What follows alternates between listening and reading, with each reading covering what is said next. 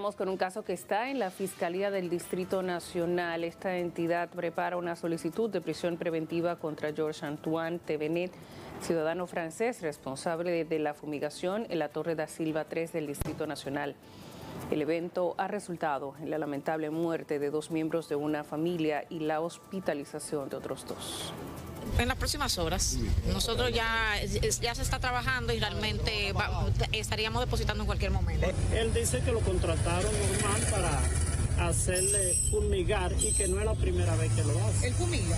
Sí, eso es ¿Él se dedica a eso? A eso. Si no tiene presupuesto, si no hay garantía de que vaya a concurrir los actos de procedimiento, pues evidentemente que lo- sería lo que procedería en principio.